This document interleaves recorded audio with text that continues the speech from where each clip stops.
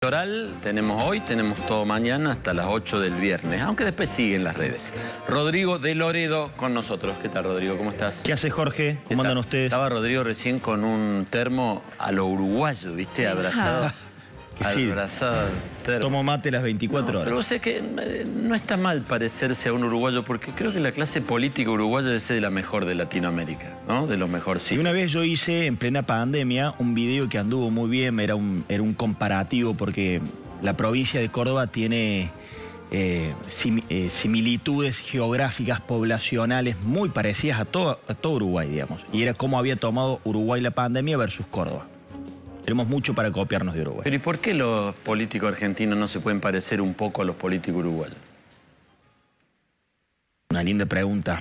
Me parece que tiene que ver con, con una lógica electoral que nos ha superado, una, un péndulo permanente, la incapacidad de la política de haberse puesto de acuerdo con dos o tres cosas sobre las cuales la Argentina no se discuta y tengamos una senda de crecimiento ahí y que las disputas políticas graviten sobre otras eh, características, pero que haya un, un nudo común, digamos, un acuerdo básico, fundamentalmente de la Argentina en el mundo. Me parece que eso es lo que nos falta.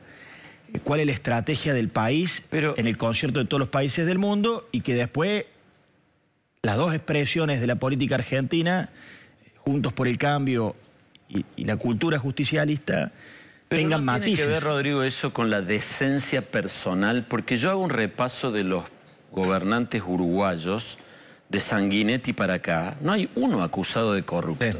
No hay uno solo. Sí. Sanguinetti, los dos La Calle, Tabaré, Mujica. O sea, son toda gente decente que va y camina en la, en la 18 de julio de Montevideo tranquilo, nadie le dice corrupto, choro.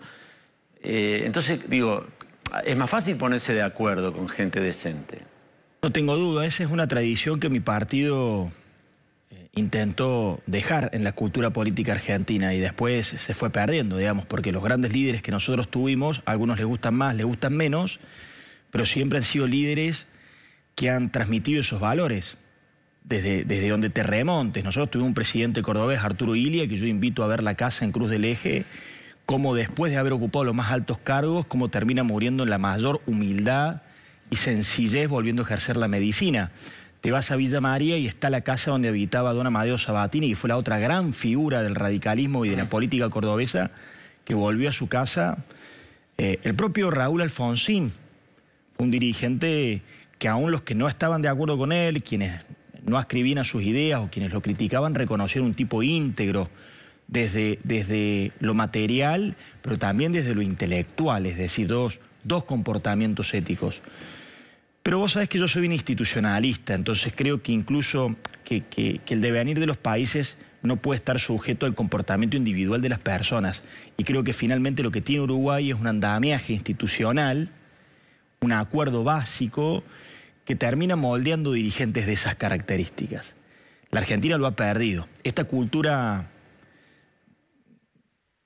que acepta, digamos, que haya dirigentes que no tengan una coherencia en su trayectoria, que un día estén en un lado, otro día estén en el otro, que pasen por el gobierno y se enri- enriquezcan brutalmente de forma súbita y no haya un castigo social porque supuestamente tienen otros consiguen otras cosas para la gente, me parece que nos ha hecho muchísimo daño. ¿Y vos por qué estás acá ahora, hoy, en este momento? Y me refiero a estar acá. Si vos estás acá invitado por nosotros es porque sos una- un candidato que tiene chance de ser intendente. Sí. Tiene chance importante ser intendente. Mañana viene Pacerini. Bueno, ¿por qué tenés chance de ser intendente? Es una persona joven, dentro de todo en la política, no tenés esa trayectoria de añísimos. ¿Qué, qué- qué es lo que te trajo acá? Bueno, Según vos, según eh, mi- eh, lo que me trajo acá es mi vocación por lo público, no tengo dudas. Eh, y lo que me pone en vísperas de eventualmente ganar una elección el domingo, me parece que son dos cosas. Una vinculada a, la identidad, a la legitimidad, a la trayectoria y la coherencia. Me parece que el cordobés sabe quién es Rodrigo de Loredo, aun quienes pueden no estar de acuerdo conmigo o pueden en algunas acciones compartirlas y otras no, me tienen claramente identificado.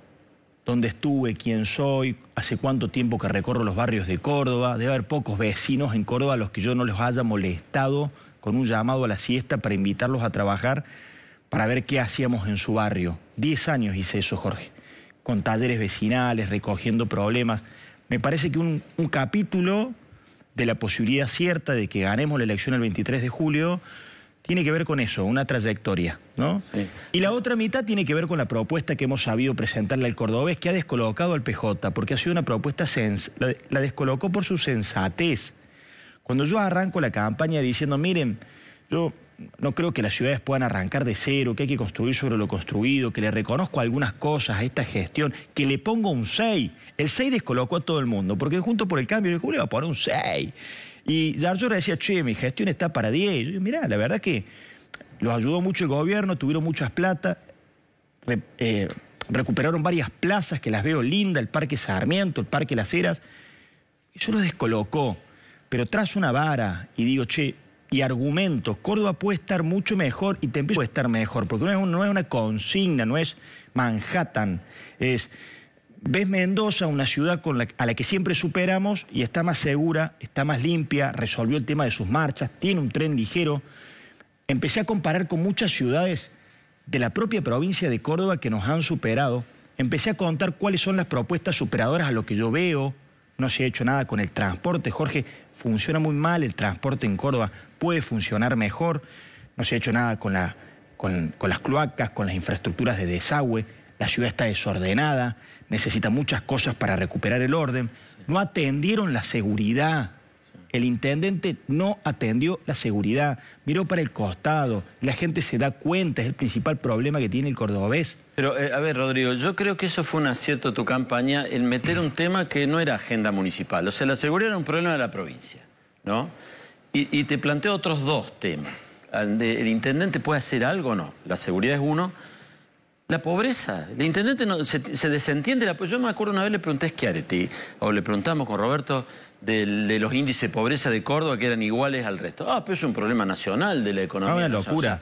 el gobernador no tiene responsabilidad sobre... El intendente no tiene responsabilidad de generar trabajo, de, cambiar un poco la, visión de la sociedad en ese aspecto. Y el tercer punto, que alguna vez se lo planteamos los candidatos cuando se debatía acá, este, y no sé si respondió alguien, pero no se hizo nada, la noche, la noche. Los chicos se matan en accidente de tránsito, consumen droga, eh, se asalta gente, se hiere gente a los tiros. También parece que un, ah, bueno, ese mundo no me corresponde, capaz que como no pierden votos por eso. Son los tres aspectos que hasta ahora ninguna gestión municipal se ocupó. Lo que es peor, acaba de citar, el gobierno provincial es como que se, se entiende la pobreza con el argumento de, che, las variables económicas dependen del gobierno nacional.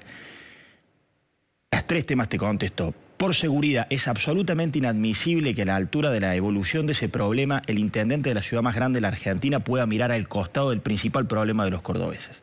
Es absolutamente inadmisible. Es una actitud especulativa, es decir, yo no me meto este, en este tema porque me va a traer quilombos.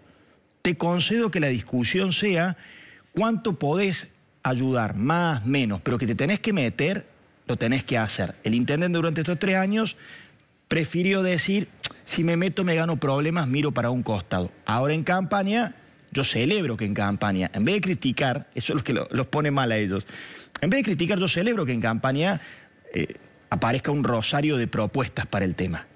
Que pintan unos autitos que parecen para la campaña, que ponen 100 guardias urbanos no armados o con gas pimienta, que dicen que van a iluminar las arterias principales de los barrios, que van a poner paradas seguras, que van a poner las cámaras que prometieron y no pusieron. ¿Por qué lo celebro? Es una actitud claramente electoral, pero es un reconocimiento de lo que tendrían que haber hecho tres años esta parte. Salvo que alguno de ustedes crea que este tema apareció ahora y es el calvario principal de todo Córdoba. Entonces, primer definición. En el mundo contemporáneo de hoy es inadmisible que un intendente no se meta en eso. Pobreza, me mencionas vos.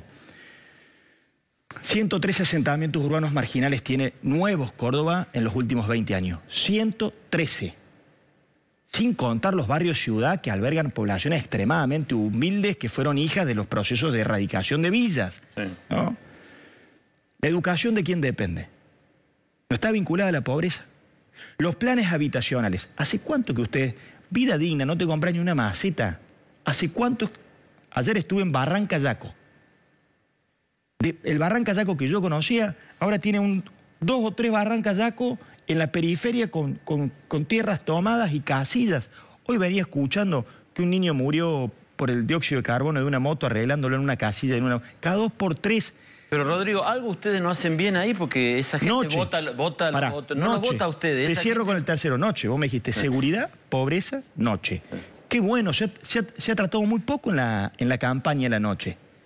Yo he intentado hacer una campaña muy constructiva, 60 propuestas, una propuesta por día, arranco con un diagnóstico sensato, que es lo que descoloca, trato de trazar la vara para que le sirva a la gente. La gente dirá, no me gusta la propuesta de Rodrigo, no le creo, lo que fuera, pero que debatamos problemas concretos. Ese, problema, como ellos empezaron, sabidos de que van perdiendo, esa es la verdad, empezaron a, tirar piedras o, montar una campaña que se aleje de la discusión real, no se tocó el tema anoche. Te agradezco que me lo pregunte terminando la campaña. Es un desastre anoche en Córdoba. Pregúntame a Córdoba qué está pasando. Pasó la pandemia, no se controla nada. Volvieron los after. Hay episodios de toda naturaleza y color de inseguridad en la nocturnidad. Mira, me contaba un empresario del espectáculo nocturno que durante la pandemia, las medidas restrictivas de la pandemia, bajaron, al principio no, se no, no había baile, ni boliche, ni nada, pero después cuando se empezaron a liberar, terminaban más temprano. ¿no? En vez de terminar a las 4 de mañana, a las 5, terminaban a las 2.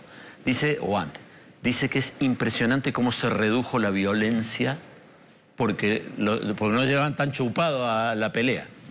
Es un gran desafío que nosotros podamos hacer un cambio cultural en la ¿Lo van a hacer o siempre tienen un, un financista de la noche que le pone plata para la campaña, entonces después no, hacen nada? No, yo soy una persona extremadamente decente, transparente, eh, tengo una trayectoria que habla de eso. No, olvídate, sí lo vamos a hacer, le vamos a poner orden a la noche. Orden y sensatez, porque cierto es también que Córdoba ha generado un conglomerado de productores de entretenimiento que son muy buenos y que son una alternativa turística para la ciudad. Vos lo ves, hago mal que diga nombre, digamos, pero desde José Palazzo, que le robó la Plaza Roquera, que, que, tenía Santa Fe o, Buenos Aires, y ahora es cordobesa, al Carly, que, que, de pronto es un mega productor, a históricos productores de espectáculos, a los chicos que organizan festivales electrónicos, bueno, eso genera un movimiento gastronómico, un movimiento hotelero, pero que tiene que estar eh, acompañado con un ordenamiento, digamos. Eh, Rodrigo, como no tenemos todo el tiempo del mundo, me esquivaste la, la, pregunta que te hice por qué la gente en los barrios humildes no los vota si, si están tan mal. ¿Por qué no los vota a ustedes? Es la pregunta del millón y me angustia un montón, porque no van a votar ahora. No van a votar. Yo he ido a los barrios, he hablado con ellos, he escuchado a todos, he atravesado todos los barrios de la ciudad de Córdoba, hemos hecho una campaña, además de positiva, muy a la intemperie. Yo he estado en todas las plazas de Córdoba, los vecinos pueden dar en todas las plazas de Córdoba, Jorge, y en la Plaza San Martín, y en la Peatonal, y en el Patio Olmos, y en el, en el Mercado Norte, en el Mercado Sur, recogiendo angustias de la gente, reclamos, puteadas, propuestas, alternativas, y me fui a todos los barrios más humildes de la ciudad de Córdoba a explicarles que no voten gobiernos que, no, que los perjudican. Ellos tienen una gran capacidad. Pero ustedes le viven diciendo que le van a quitar los planes sociales, que esto, que lo otro. No, ellos son una, ellos montan una fenomenal campaña de amena. Ahí baja el peronismo. Peronismo es una, al final del día se ha convertido en una propuesta extorsiva. Es una propuesta extorsiva. No es muy, no es muy alejada esta propuesta como cuando te ofrecen seguridad y si, no aceptas el que te está ofreciendo seguridad, te genera la inseguridad el que te lo ofrece. Es decir, esta propuesta del peronismo en la Argentina de si no venimos nosotros viene el caos, y la pregunta es, ¿y el caos quién lo genera? Ah, nosotros.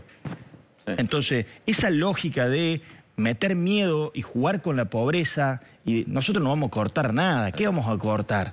Si la gente la está pasando muy mal, abajo de un deterioro económico y social muy grande, nosotros le vamos a dar mejor salud, Córdoba tiene 100 centros de salud, así como le reconozco cosas al municipio. ¿Por qué la pregunta tuya me va al corazón a mí?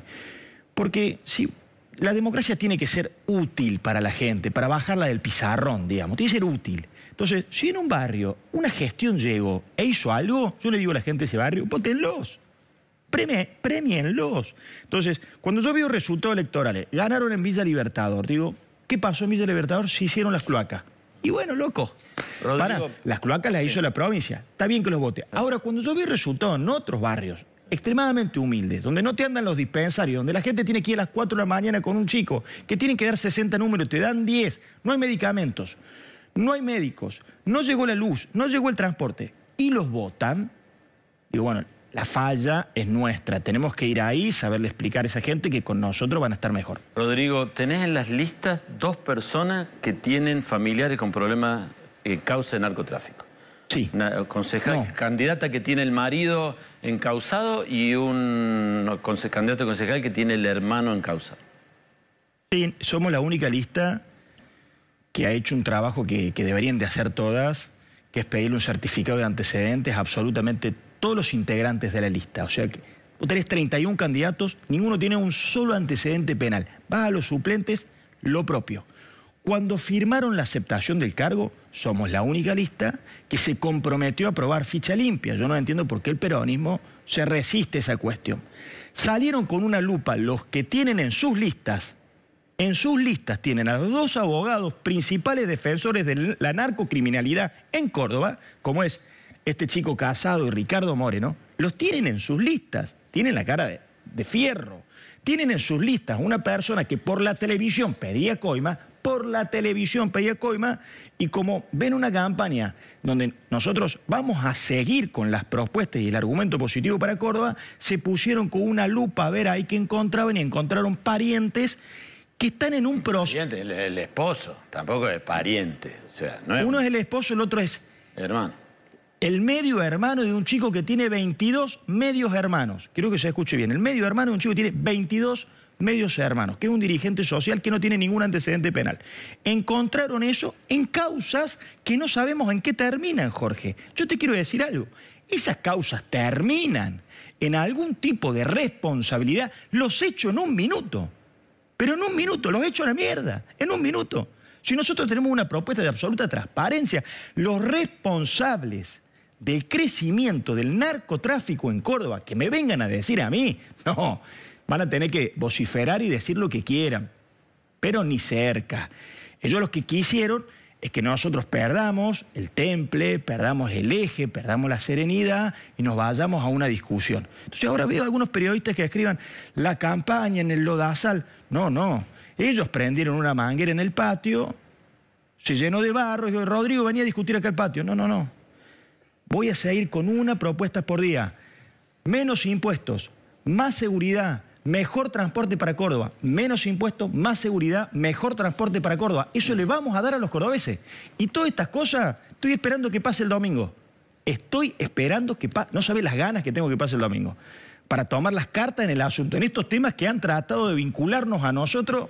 Pero no, bueno, yo tengo experiencia también, tendré 43 años, pero a los vivos que en vez de plantear una campaña como la gente merece, esto es insólito, desde el oficialismo un, intendente no puede echar un concejal, digo, un detalle. Digo, vos, vos decís que después del domingo... Tenemos mayoría en el Consejo Liberante. Pero el intendente no puede echar el concejal. Sí, sí, Roberto, sabes que sí, porque tenés mayoría en el Consejo Liberante, es una cuestión de privilegio, te dura dos minutos. Si se demuestra algún tipo de vinculación, te lo estoy diciendo acá. No dura dos segundos. Dos segundos te digo, ¿eh? Ahora que nosotros nos prestemos a que la discusión de una campaña sea toda esta turbiedad que ellos han preferido escoger en vez de que discutamos, chicos, porque no han sabido qué hacer con nosotros, porque propusimos una, una propuesta verdaderamente osada, pero que va, va a terminar así más temprano que tarde. Pásenme la policía, pásenme la policía. Si ustedes, yo les reconozco que han hecho muchas cosas bien, por eso lo ha votado la gente. Pero que alguien me diga si han resuelto el tema de la seguridad es un calvario. Pásenme la policía. ¿Van a estar mejor los policías? No, han dicho, no, eso no se puede legalmente. Después se dieron cuenta que sí se podía legalmente. La han insultado a la propuesta. Martín Yarlora propone, voy a, voy a plantear que el ejército se meta en el narcotráfico. ¿Yo qué dije? Te banco, Martín. Me parece que está bueno. Te quiero decir una cosa. Yo voy a gobernar al lado de Martín Yarlora. Porque yo en Juntos por el Cambio di una pelea para que Juntos por el Cambio no sea porteño centrista, sea federal. Entonces, cuando gobierne, porque Junto por el Cambio va a gobernar el país, me va a encontrar Martín Yarlor a mí al lado de él peleando para que no discriminen a Córdoba. en los subsidios al transporte, en las retenciones. El, lunes, si soy elegido intendente, te prometo seguir hablando, pero ahora tenemos que cortar. tenemos que cortar. Eh, gracias por venir, ¿eh? No, gracias Jorge, gracias chicos. Nos vamos a la pausa.